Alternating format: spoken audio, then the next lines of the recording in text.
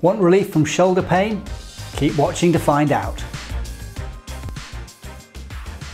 Your shoulder is the most unstable and movable joint in your body.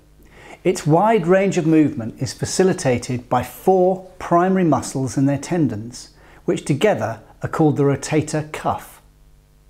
If your shoulder becomes inflamed or an impingement occurs, you may make the mistake of avoiding using your arm to help it heal.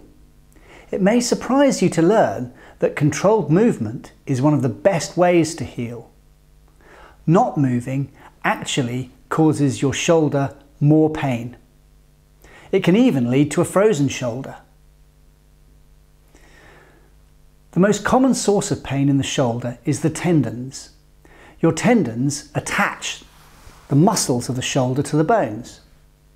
The sac of fluid that cushions your shoulder becomes swollen and painful as a result of repetitive motion. You may have bursitis, i.e. an inflammation of the bursa. If a tendon in your shoulder becomes inflamed, you may have tendinopathy. If a tendon gets pinched between or under the bones of your shoulder, it can result in shoulder impingement. Lifting overhead repetitively can also cause impingement, and you may have swelling and pain as a result.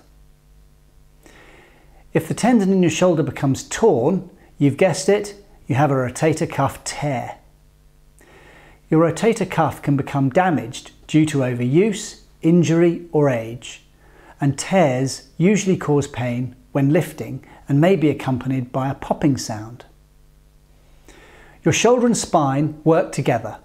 While it may seem that they're completely different and independent areas of your body, research has shown that postural abnormalities can play a significant role in your likelihood of developing shoulder pain.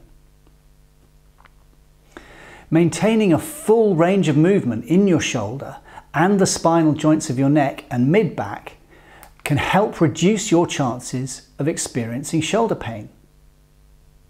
If you've been living with shoulder discomfort or difficulty moving, take a moment to contact us for a complete evaluation. We'll work together with you to create a movement based plan that gives you the best chance of finding long term relief naturally. Thanks for watching.